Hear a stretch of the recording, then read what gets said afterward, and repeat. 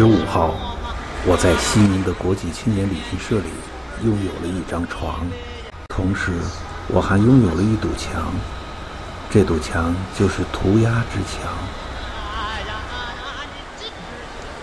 我想在这堵墙上找到他们的名字，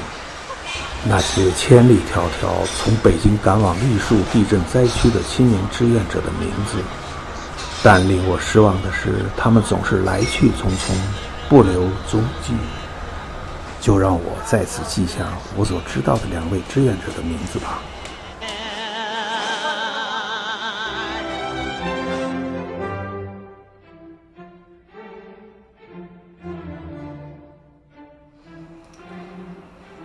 我叫杨立才，我我是二零零三年从辽宁来到北京，嗯、到目前为止从事的工作是独立音乐传播，嗯，我自己想做一个艺术家，现在还在起步阶段，因为在中国，嗯、现在的这个文化环境当中，嗯、独立独立的创作、独立的思考，嗯、还始终处于一种被压制的这样的一个气氛当中。不管是来自官方的意识形态的，还是从呃消费文化那边呃产生的一些挤压，那我认为他们的创作都是非常有价值的。嗯，也是，如果说我按照我的了解，中国当代文化当中，他们是嗯、非常重要的嗯、一部分。那这一部分嗯、从二零零三年那个时候看，生存都很艰难，更谈不上一个广泛的传播，呃，或者说有一个比较稳定的呃舞台，一个表达的空间，嗯、那所以我我通过我的工作，呃，开唱片店，呃，协助发行唱片，策划演出表演的活动，嗯、慢慢的和这个创作创作的场景一起呃工作，这是二零零三年到现在我的工作。之所以能嗯、来到北京参与这个独立音乐传播这样的一个一个工作，嗯、和这些呃嗯、艺术家嗯、独立的创作者嗯、在一起，就是因为对这个文化环境非常失望，觉得没法忍受。嗯、一个就是嗯、官方的这样的主流文化，呃，一个是商业的这种消费文化，在这在在这个两重力量的这种嗯、挤压下，几乎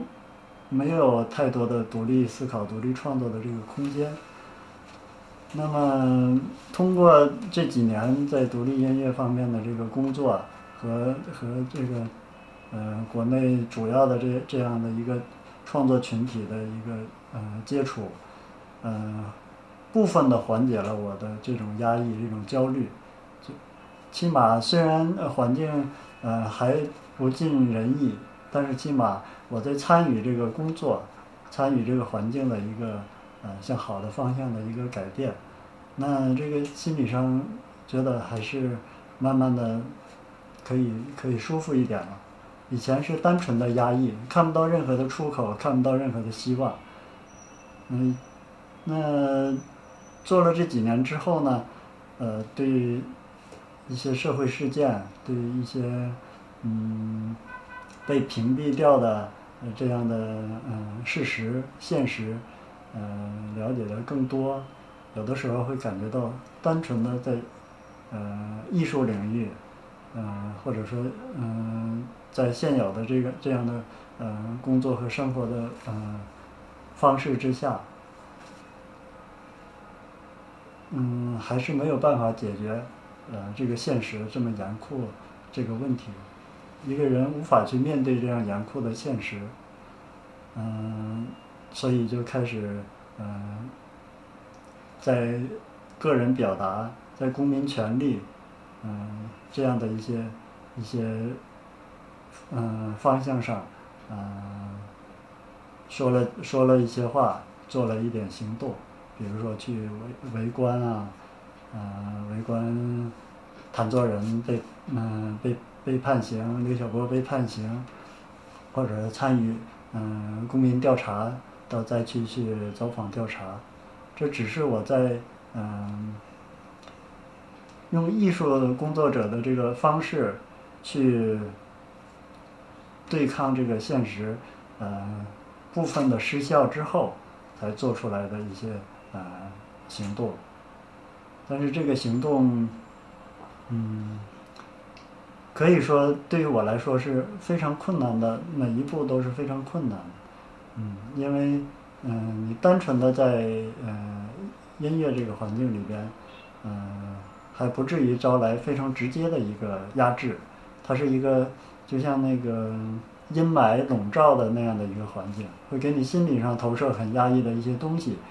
嗯，有窒息的感觉，但是还不至于有有非常直接的这种暴力的嗯这样的一个压制，但是一旦采取嗯涉及到嗯人权，涉及到呃，公民权利涉及到一些呃自由言论的表达的时候，这个暴力是非常直接的。比如说我在四川，嗯，去参加调查没多久，就被嗯四川的学校的校长、当地镇政府的什么呃综合治理办公室这样的呃一些人，嗯，纠集当地的呃的人当街殴打。就当着呃这个学校的正在放学的学生和家长的面儿，嗯，就在大街上殴打。嗯，这个既是我始料未及的，嗯，也让我对这个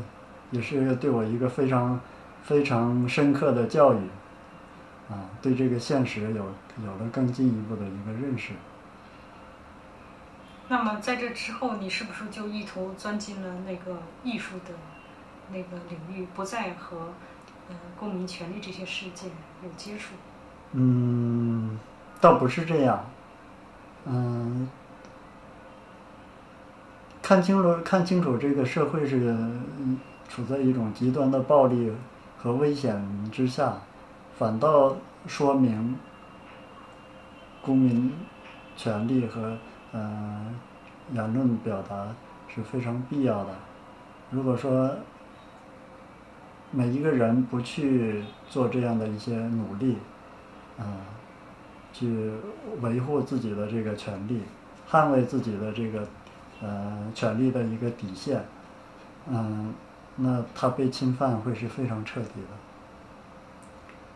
他的这个权利就等于是自己放弃了，这个环境不可能再变好。放弃了就不可能再变好，必须得去争取。那被打之后，我坚持做完了这个嗯五幺二地震的这个公民调查，大概是前后有一个多月吧，两次去了两次。嗯，把相格中学的那个遇难学生名单，嗯，基本上嗯能查到的都都都掌握了之后回来了。嗯，回来呢，艾薇薇这个发起的这个五幺二遇难学生的公民调查，差不多也就是告一个段落了。最后查出的这个人数，跟官方公布的嗯相对比较接近，有一些嗯因为嗯当局的重重的这个阻挠，也比较难以去完全核实，所以这个公民调查差不多就。就到这儿为，到这儿为止，我也就，这算是完成了一个行动。嗯，之后就是谭作人被判刑，我去过两次四川，嗯，我觉得既是围观，也是声援，也是我自己的一个呃意愿的一个表达，就是我要表达我支持谭作人这样的人，支持他。嗯，做出的这些努力，我参与这个公民调查，就是因为言，呃，谭作人的这个呃言行，包括他的文章的这样的一个一个感召，嗯、我觉得他他做的这个是非常好的事情，嗯也是非常有建设性的、很实际的一个一个行动。后来我听说你有一次是到那儿去自首，这是什么事情？嗯，那是嗯零九年十二月二十五号，刘晓波呃被判刑十一年。我之前看了零八宪章，我就嗯、签了签署了。嗯，我认为这也是非常有建设性的一个，嗯、能够改变现在诸多的社会问题，使这个社会呃趋向呃合理、趋向理想化的一个一个行动。那我就签署了。签署了之后呢，刘晓波就被判了十一年，啊，这是我完全没有办法接受的一个一个结果，因为这个这等于黑白颠倒，嗯，也等于这个环境，嗯，非常赤裸裸的，嗯，呈现了这个这个社会的巨大的问题，就像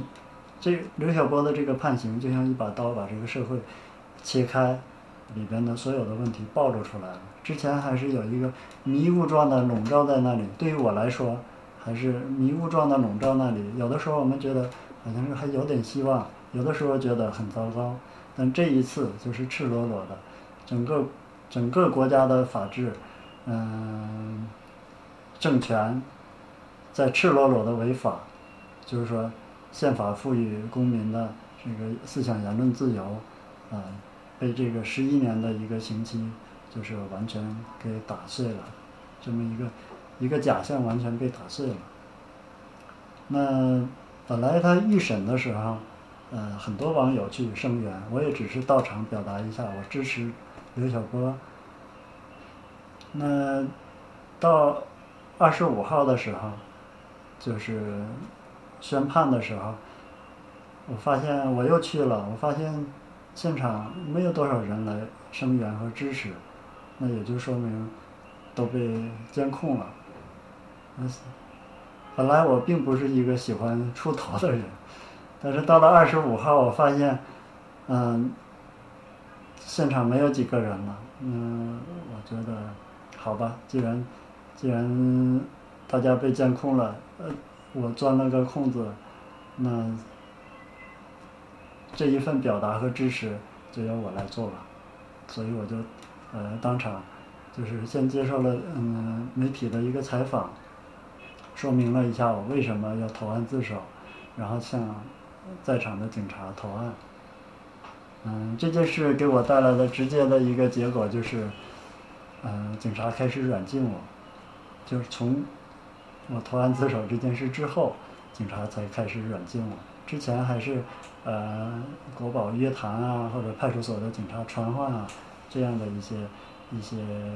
那个一些方式。软禁就是你不可以出来。对，就是警察二十四小时在我，在我那个住处的门外值班。一般来说，他们是停一辆警车，一辆私家车，然后车里边，呃，每一个车里有一个警察，配一到两名协警，八个小时一个班儿，就是换班儿。啊，不是八个小时，十二个小时，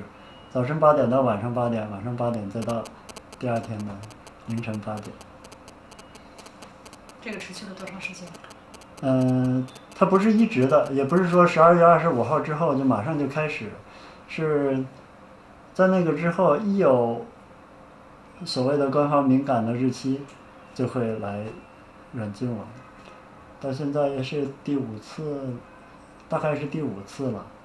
嗯，有的时候长，嗯，最长的是十五天，有的时候短，可能就一天，二十四个小时就撤了。那你觉得这个呃，这个社会还有希望吗？嗯，我我对自己抱有希望，我就对这个社会抱有希望。你这种希望，你觉得在什么地方？嗯，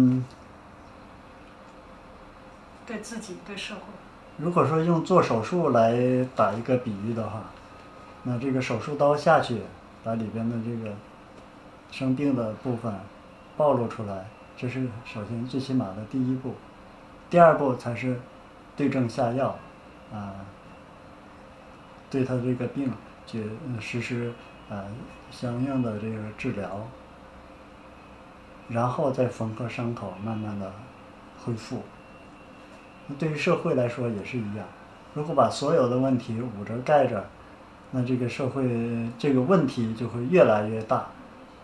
直到有一天彻底的崩溃，来不及再施救。嗯，所以说从这个角度来看，我不认为现在不管是刘晓波被判重刑，谭作人被判重刑，还是现在的这个言论空间这个社会呃控制越来越严厉。呃，都不是什么绝对的坏事，尤其是在这样的一些嗯突出的事件当中，嗯，越来越多的暴露这个体制，嗯，这个执政当局的嗯反动的一面，那这个就是改变的一个非常大的动力。如果我们始终不能去。认识到这样的一个呃现实的话，如果始终是笼罩着一层嗯模棱两可的这这样的谜团的话，那可能很我们很在很多事情上会呃判断呃不准确，嗯，那这样的改变可能也会更慢，嗯。那那你怎样看？这样的会对你个人的生存的这种质量啊，或者发展环境啊，都会造成一定的影响。你怎样看的这样，就是你现在坚守的、认为的这种事情做下去？这个生活的质量对于我来说，生活的质量一方面是这个起码的这个基本的物质方面的，让自己舒适一点；另外一方面，可能是以前看的比较多的是精神层面的，呃。自由的这样的一个气氛，呃，自由的这样的一个一个心理上的一一个嗯感觉，我还有自由呼吸的这样的一个可能，嗯，当我的家被抄，我我被拘留，当我的朋友啊在派出所里被警察殴打，啊这些事情发生之后，我觉得嗯。我需要反思一下自己之前的这个所有的这样的行动，嗯，需要反思一下，需要整理一下，哪一些是可行的，哪一些是比较有积极意义的，因为这些行动并不是为了跟警察产生一个直接的冲突，我并没有什么英雄情节，嗯，我的目的也不是。让这个社会产生更多的暴力，更多的这种激烈的对抗。那经过这样的反思，我希望能找出一条对于我自己来说，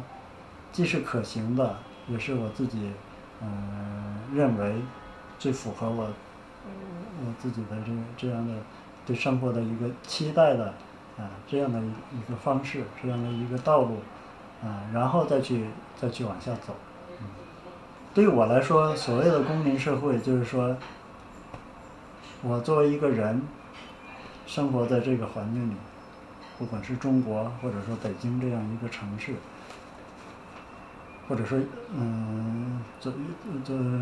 独立音乐的这样的一个领域，它有最起码的在法律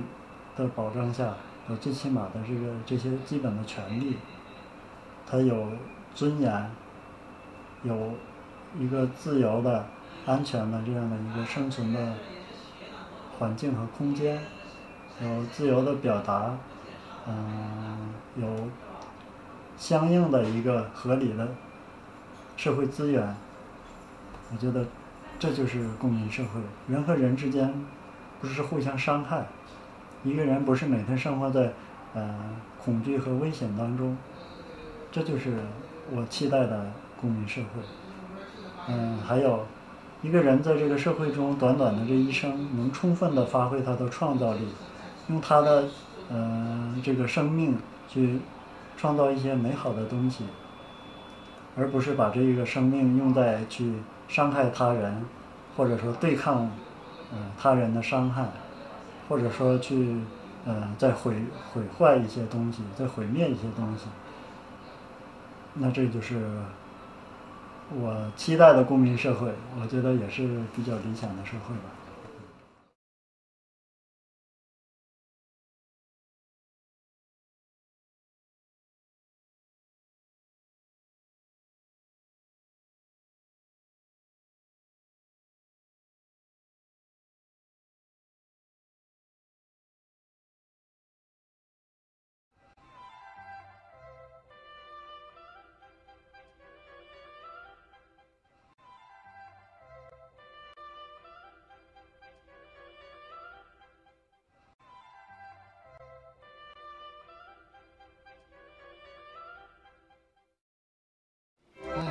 哎，我的爱情观还是不说了，说起来就说来话长。那我。